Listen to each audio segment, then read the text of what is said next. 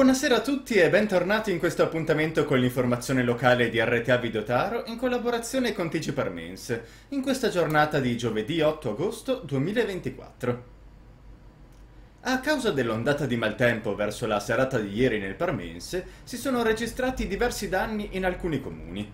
Ad esempio, un albero è caduto su Via La Spezia tra Collecchio e Parma, rendendo temporaneamente inagibile il percorso e il forte vento ha provocato la caduta persino di alcuni pali della luce, oltre che di altri alberi e rami. E il Consiglio dei Ministri ha riconosciuto lo stato di emergenza nazionale per le province di Bologna, Forlì Cesena, Modena, Parma, Piacenza e Reggio Emilia, colpite da maltempo lo scorso giugno. La regione Emilia-Romagna, guidata dalla presidente facente funzioni Irene Priolo, è già al lavoro sulla proposta del piano degli interventi da presentare al Dipartimento Nazionale di Protezione Civile per renderlo operativo il prima possibile. Il governo ha stanziato 21 milioni e 530 mila euro dal Fondo delle Emergenze Nazionali per i primi interventi. La richiesta di riconoscimento dello stato di emergenza era stata firmata e inviata il 6 luglio scorso dall'ex presidente della regione Stefano Bonaccini, a seguito delle eccezionali avversità atmosferiche e dei conseguenti danni che avevano colpito gran parte del territorio regionale tra il 20 e il 29 giugno, con un picco particolarmente grave tra il 23 e il 25 giugno. Il riconoscimento dello stato di emergenza avrà una durata di 12 mesi e prevede interventi mirati per affrontare le criticità lasciate aperte dal maltempo. L'Agenzia regionale per la sicurezza territoriale e la protezione civile, in collaborazione con i territori colpiti, sta identificando le principali criticità da risolvere il prima possibile. La Presidente Priolo ha sottolineato l'importanza della sinergia con i territori per individuare le principali criticità e fornire risposte rapide ed efficaci agli effetti del maltempo. E un camion ha preso fuoco nel pomeriggio di ieri lungo l'autostrada A1, nel tratto vicino alla coincidenza con la A15. Ce ne parla Emanuele Berni. Camion in fiamme in autostrada è successo ieri, poco prima delle ore 15, quando mentre stava percorrendo l'A1 in direzione Milano, nei pressi del bivio per l'autostrada A15 Parma-La Spezia, un camion ha preso fuoco e poco prima sarebbe scoppiato un pneumatico del mezzo stesso.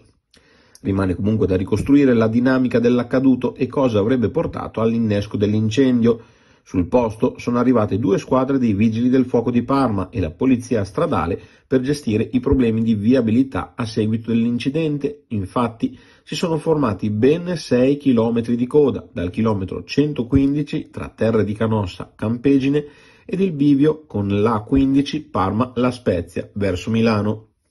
Fortunatamente non si è registrato nessun ferito, anche se le immagini dell'incidente avevano una connotazione davvero spettrale e non lasciavano certo presagire il meglio.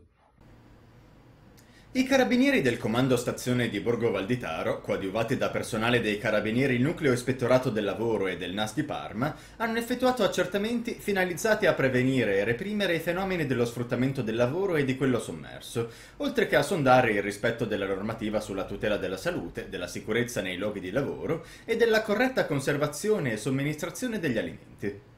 I controlli hanno interessato gli esercizi pubblici che effettuano attività di ristorazione e i cantieri edili presenti nei territori della Valtaro.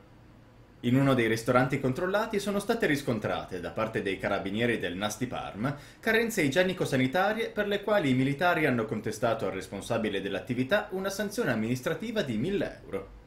Il personale del NIL ha proceduto al controllo di alcuni cantieri edili in diversi comuni della Valtaro in uno dei cantieri controllati, nel quale era in atto la ristrutturazione di un edificio, i militari hanno riscontrato alcune irregolarità a carico della ditta esecutrice dei lavori.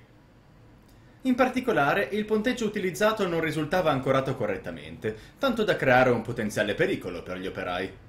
A carico del titolare della ditta è stata elevata una sanzione di 900 euro, con l'intimazione di sanare l'irregolarità entro 5 giorni e i carabinieri della Compagnia di Parma, nell'ambito di una lunga serie di servizi pianificati e coordinati dal comando provinciale, hanno presidiato l'interno del Parco Ducale e le zone limitrofe, al fine di contrastare il fenomeno dello spaccio di sostanze stupefacenti. Una delle pattuglie messe in campo dalla stazione carabinieri di Parma Oltretorrente, su segnalazione di uno degli agenti in borghese, si è avvicinata ad un gruppetto di ragazzi che stazionavano su una panchina nei pressi del palazzetto San Vitale. Uno dei ragazzi, un trentenne originario del Gambia, ha notato l'auto di servizio che si stava avvicinando, estraendo dalla tasca dei pantaloni un oggetto di forma rettangolare che ha lanciato in direzione di una siepe a pochi metri di distanza. I militari sopraggiunti, dopo aver fatto intervenire altro personale in uniforme, hanno recuperato quanto lanciato poco prima, un pezzo di hashish di forma rettangolare del peso di 25 grammi. A questo punto il trentenne è stato accompagnato in strada a fonderie per l'espletamento delle incombenze burocratiche. La sostanza rinvenuta, esaminata con il narcotest in dotazione, è stata posta sotto sequestro. Approfonditi accertamenti hanno fatto emergere a carico del trentenne alcune segnalazioni di polizia per reati inerenti agli stupefacenti e un avviso orale emesso dal questore di Mantova nel 2023. Un'altra pattuglia di Parma Oltretorrente, nei pressi dell'uscita che porta in via Kennedy, ha proceduto al controllo di un 34enne ganese, residente in provincia, che alla vista dei militari ha immediatamente assunto un atteggiamento ansioso, tanto da indurre i carabinieri ad approfondire il controllo. Messo alle strette, l'uomo ha consegnato spontaneamente un pezzo di sostanza stupefacente del peso di 20 grammi. Analizzato con il kit in dotazione, è risultato essere hashish e sottoposto a sequestro. Anche un diciottenne è stato fermato nelle immediate vicinanze del Parco Ducale, trovato in possesso di altri 30 grammi di hashish. Al termine delle formalità, tutti e tre sono stati segnalati alle autorità competenti. E continuiamo a parlare del cinquantesimo anniversario della fondazione di Famiglia Tarsognina, insieme al presidente Marco Brugnoli. Eh, la famiglia Tarsognina festeggia il cinquantesimo anno di, di, fondazione. Certo, sì, esattamente nel 1974, 50 anni fa, il 26 dicembre, sono trovati eh, quattro dei fondatori che hanno avuto l'idea in un bar a Parma, come sempre a tavola si hanno le migliori idee, hanno deciso, hanno pensato perché non, eh, perché non fondare un'associazione ed è nata lì la famiglia Tarsognina. E I fondatori all'epoca erano erano tanti, parliamo di una quindicina di fondatori e tantissimi sostenitori, soci. La famiglia Tarsonina è nata ben appunto 50 anni fa con l'idea di valorizzare il territorio e valorizzare i bestraiai, bestraiai che sono ben appunto tutti gli emigrati tarsonini del mondo, che, nel mondo che ritornavano in, a Tarsogno dopo, dopo lunghe, lunghe, presenze all'estero, tornavano nel, nel Tarsogno e l'idea della famiglia tarsonina era valorizzare questi, questi tarsonini, valorizzare ben appunto il territorio, fare eventi culturali. Questa è l'idea della famiglia tarsonina che stiamo portando avanti, io sono il presidente della famiglia da quest'anno, il decimo presidente, è un onore per me perché i, i nostri anziani, ma tuttora ancora parecchi di loro ancora presenti, tengono molto a questa e avere ricambio generazionale è una cosa fondamentale. Quindi 10 agosto a Tarsogno, al cinema di Tarsogno, vi aspettiamo alle 9 di sera in cui faremo la serata per celebrare il cinquantesimo, avremo la corale lirica di Borgotaro, proietteremo un video di, di questi, per ripercorrere insieme questi 50 anni di storia, ci saranno altre sorprese in quella serata ma non le voglio svelare, vi aspetto tutti a Tarsogno alle 9 il 10 agosto. Il Consorzio Forestale La Rocchetta promuove una serata informativa di biosicurezza per il contenimento della peste suina africana. L'evento, organizzato in collaborazione con ATC PR9, il comune di Albareto e la comunalia di Albareto, si terrà sabato 17 agosto alle ore 20.30 presso il Palafungo di Albareto. Durante la serata interverranno il dottor Carmelo Musarò, tecnico faunistico dell'ATC PR9, e il dottor Luigi Noghera, responsabile AUSL. La presentazione sarà curata dal signor Renzo Bruschi. L'incontro affronterà la situazione attuale della diffusione della PSA nella zona, le misure preventive in atto e le regole da seguire per le attività outdoor. Al termine della serata verrà rilasciato un attestato di partecipazione. E Porcigatoni in festa, la 33esima edizione della Sagra della Polente e del Cinghiale si terrà nel weekend di sabato 10 e domenica 11 agosto, nel secolare Castagneto. Sabato dalle ore 19.30 cena con cucina casereccia alle ore 21 in compagnia dell'orchestra Diego Zamboni, poi la disco con DJ Savanta e DJ Lasagna. Domenica 11 agosto alle ore 11.15 la Santa Messa. Alle ore 13 poi il pranzo, mentre nel pomeriggio degustazione con birra Turris. Dalle 19.30 ci sarà la cena e la serata proseguirà in compagnia dell'orchestra Paolo Bertoli con l'estrazione premi. È gradita la prenotazione ai numeri 338 67 77 551 oppure 338 58 36 968. E anche a Tarsogno si è festeggiata la ricorrenza della Madonna del Carmine. Vediamo com'è andata.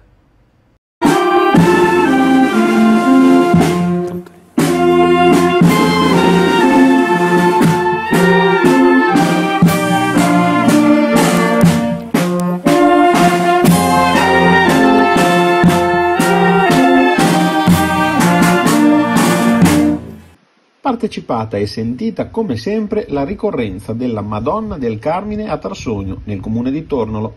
Tra giovani, anziani e anche più piccini, la tradizionale manifestazione, che si è svolta il giorno domenica 28 luglio, ha visto la presenza di tanti abitanti della Valtaro, ma anche tanti turisti che come ogni anno in questo periodo accorrono nei comuni valtaresi per fuggire alle torride temperature della città.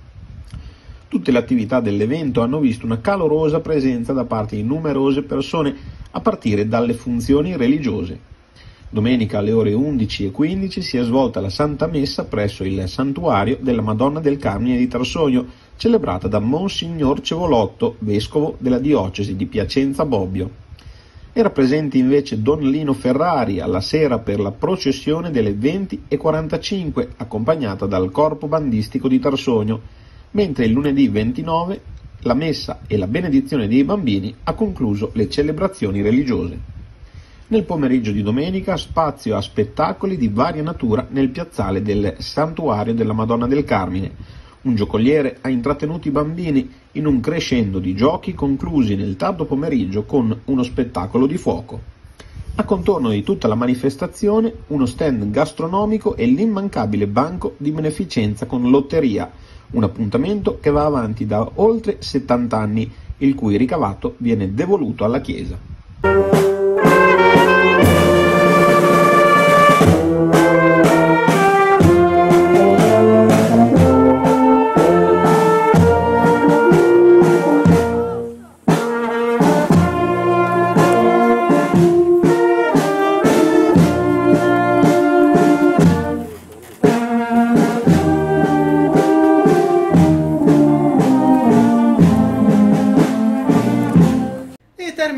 Presente telegiornale, ma non cambiate canale perché dopo gli spot andrà in onda il nostro secondo TG, dedicato a eventi, cultura, sport e curiosità.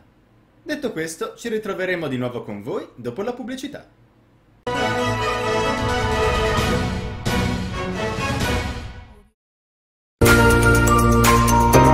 È arrivato a Borgotaro il nuovo punto vendita di Prima e Poi in via Nazionale 13 vi aspetta con un'ampia scelta di biancheria intima, biancheria per la casa e molto altro ancora a prezzi imbattibili. 30 anni di esperienza al servizio dei clienti per soddisfare ogni tipo di esigenza. Prima e poi lo trovi a Borgotaro in via Nazionale 13 e a Bedonia in piazza Plebiscito 4. Ritorna in Viale Bottego a Borgotaro il mercatino dell'antiquariato e modernariato Cose di altri tempi con il patrocinio del comune di Borgotaro. Ogni quarta domenica del mese per informazioni ufficio turistico 0525 96 796 oppure Daniela 331 40 36 577 oppure Maria Rosa 339 200 3835. Hai un'azienda o abiti in un comune della Val di Taro? Gasseis Energia ha un'offerta impensabile per te. Passa a Gasseis Energia le tue utenze luce gas e avrai uno sconto del 40%. Contatta subito Gasseis Energia, il tuo fornitore di fiducia in Borgo Val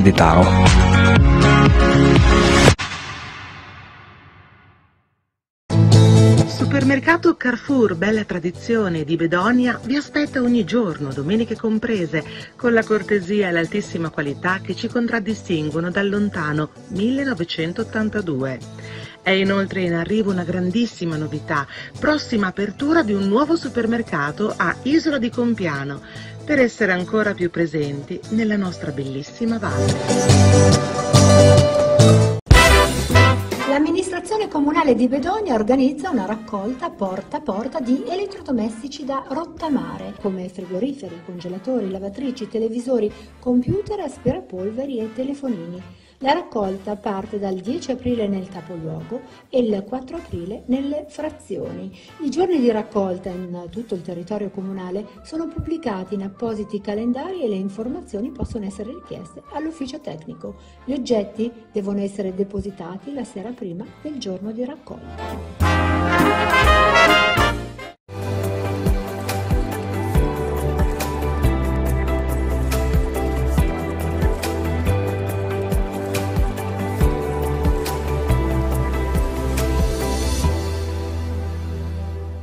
Le nuove cucine Lube trovate esposte da Arredamenti Bertani.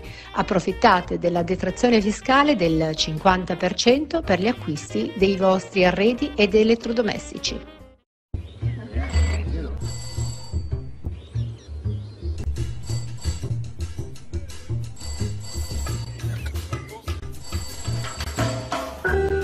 Evidente quando hai bisogno di un apparecchio acustico. Vieni a provare i nuovi apparecchi nel nuovo centro Acoustic System a Borgo Taro in via Corridoni 38. Mora Noleggi a Fornovo Taro, piattaforme aeree, gru e tanto altro. Telefono 0525 22 34. Gruppo Oppimitti, oltre 60 anni di attività al servizio di privati ed enti pubblici. Un gruppo che ha sviluppato le proprie attività seguendo le trasformazioni che avvenivano nel paese. Gruppo Oppimitti per la valorizzazione delle risorse umane e la crescita territoriale. Oppimitti, un gruppo che opera nell'ambiente per l'ambiente. Ne combiniamo di tutti i colori, ma solo con il tintometro.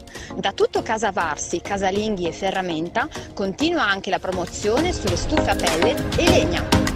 Elettrotaro Fornovo, frigoriferi design anni 50, vasta gamma di elettrodomestici, televisori e prodotti tecnologici di ultima generazione.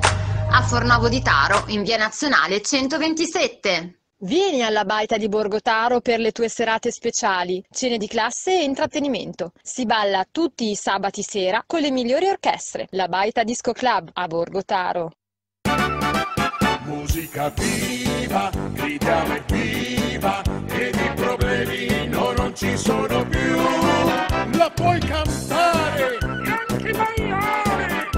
La musica viva con noi. Vuoi ospitare una puntata dell'aperitivo del Parmense? Oppure vuoi parlare della tua attività e sponsorizzarci?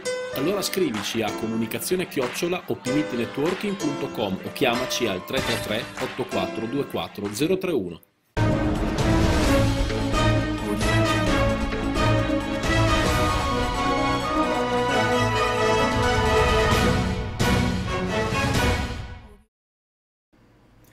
Ritrovati all'appuntamento con l'informazione locale, con il TG dedicato ad arte, sport, cultura e curiosità. Prima di proseguire con queste notizie, andiamo a vedere la programmazione di RTA Vidotaro per questa sera e domani. Questa sera alle 20.45 Protagonisti dal mondo. Alle 21.30 c'è Driver TV. Alle 22.30 la replica del telegiornale. Alle 23 Balla che ti passa e a mezzanotte Rivediamoli 1999. Per quanto riguarda domani, invece, alle 20.45 ci sarà Salute e Società. Alle 20.50 la musica vi aspetta con Musica Viva. Alle 22.15 è ora di Video Station. Successivamente a mezzanotte la replica del TG. A mezzanotte 30 Balla che ti passa e all'1.30 si chiude con Rivediamoli 1999. Ricordo poi che al termine di ogni telegiornale andrà in onda Ital Press TG News, con cui si farà una panoramica più generale delle notizie più importanti del giorno a livello non solo locale, ma anche nazionale e internazionale. Non perdete quindi questo nuovo spazio dedicato all'informazione su RTA Videotaro, canale 89. E proseguiamo ora con il resto delle notizie. Il comico, cabarettista e conduttore Leonardo Manera, conosciuto per le sue partecipazioni a programmi come Zelig, Colorado, Paperissima e Quelli che è il calcio, sarà ospite a Compiano per uno spettacolo il prossimo venerdì 14 agosto. L'appuntamento è in piazza Vittorio Emanuele e l'ingresso è libero. E a Bedonia si sta tenendo una mostra di mescolanze artistiche nella palazzina di piazza 4 novembre, dal titolo Shock Pop and History. Scopriamone di più. Abbiamo creato una mostra veramente mh, eccezionale con dei nomi come Andy Warhol, Kate Haring, Robert Capa, Cartier-Bresson, eccetera, eccetera, mettendo insieme anche alcuni dei nostri artisti della nostra squadra che sono eh, un po' pop, un po' shock. Infatti la mostra si intitola Shock Pop and History ed è allestita a questo piano. Secondo piano della Palazzina in piazza 4 novembre. Al secondo piano c'è anche la residenza dell'artista della Ludmilla Kazinchina, un'artista russa che abita a Parma da tanti anni, che era già l'anno scorso in residenza da noi, e al piano di sotto c'è la mostra eh, Out of Time di Mattias Langer, che è anche un artista che è in residenza l'anno scorso, bravissimo, un bravissimo fotografo. Vi invitiamo a venire anche perché c'è sul, sull'opera Moonwalk del 1987 di Andy Warhol eh, dei bravi, eh, bravissimi ragazzi si sono inventati questa eh, lettura sartoriale, quindi è una sorta di pezzo teatrale che si viene ascoltato con una cuffia, ehm, per far sì che le persone si interessino di più di una eh, opera in particolare e stiano concentrati su un'opera. Ringrazio il Comune di Bedonia, particolarmente gli assessori eh, al bilancio eh, che è Roberto Agazzi e l'assessore alla cultura che è la Letizia Benaglia, che ci hanno sostenuto. Eh, ehm, ringrazio anche eh, l'Officina Buoni Mestieri della Libia che ci hanno anche sostenuto con tantissimi lavori qua dentro ringrazio Don Amedeo e Don, e don Daniele che eh, sono stati gentili e hanno, ci hanno dato la seconda residenza d'artista per Mattias Langer, ringrazio la Trattoria Solare di Cereseto, anche ci ha, dato, ci ha offerto gentilmente una residenza d'artista per un altro artista e anche diverse cene e ringrazio eh, la Raffaella Del Poio che ha messo a posto il cortile e il centro commerciale naturale con Marco Mariani che è meraviglioso. Qui abbiamo due opere che rappresentano la parte history nel nome della mostra Shock Pop and History perché abbiamo una fotografia di Henri Cartier-Bresson del 47 che fa vedere una signora anziana con la bandiera americana il 4 luglio, è stato l'Independence Day fotografata da Bresson. Poi qui a sinistra abbiamo una foto di Robert Capa, famosissimo fotografo giornalista di guerra che è, è stato presente eh, alla Normandia al D-Day quando gli americani sono entrati nella seconda guerra mondiale e questa è una foto del 1944. Qui abbiamo una serigrafia dell'artista americana Shepard Ferry, anche conosciuto come Obey, e lui eh, ha presentato qui una serigrafia che si chiama Operation Oil Freedom, che parla certamente della, della politica americana eh, per il petrolio e lui in questo momento è una mostra molto importante con oltre 300 opere alla fabbrica del vapore a Milano. Allora qui abbiamo un'opera d'arte di un artista non ancora storico, è giovane e vivente ma molto affermato, si tratta di Tristan Reid, artista britannico. Qui ci troviamo una stanza della Palazzina d'arte nella quale l'artista russa Ludmila Kazinkina ha ricostruito il suo atelier eh, di casa e lavora qui in questi giorni eh, davanti al pubblico, chi vuole può venire qua, conoscerlo, fare domande per la sua opera. Qui adesso siamo nel primo piano della Palazzina dell'Arte, nella mostra personale Out of Time dell'artista tedesco Matthias Langer, che è qua al mio fianco, e qui ci troviamo davanti a un'opera d'arte che Mattias ha fatto già l'anno scorso, era già qui presente al festival, è un picnic che abbiamo fatto a Prato, sopra Bedonia, e eh, Langa lavora con la tecnica della lunga esposizione. Questo scatto è stato fatto in 3-4 ore eh, mentre noi stavamo facendo il picnic. Si è svolta ieri a Bedonia la serata inaugurale del Torneo dei Rigori, tradizionale competizione estiva a cui partecipano tre persone per squadra, un portiere e due battitori, a cui ci si sfida a chi segna più tiri dal dischetto. Divisi in quattro gironi, A, B, C e D, questa sera ci saranno le fasi conclusive. E per questa sera l'edizione del telegiornale si conclude qui. Non mancate di seguirci anche su Facebook, alla pagina di RTA Videotaro e sui nostri canali YouTube. Per guardare in diretta il telegiornale siamo ogni sera alle ore 19 sul canale 89 e in diretta streaming su Twitch. Vi ringrazio per averci seguito. Qui è Lorenzo Rosselli e vi auguro un buon proseguimento di serata con i nostri programmi.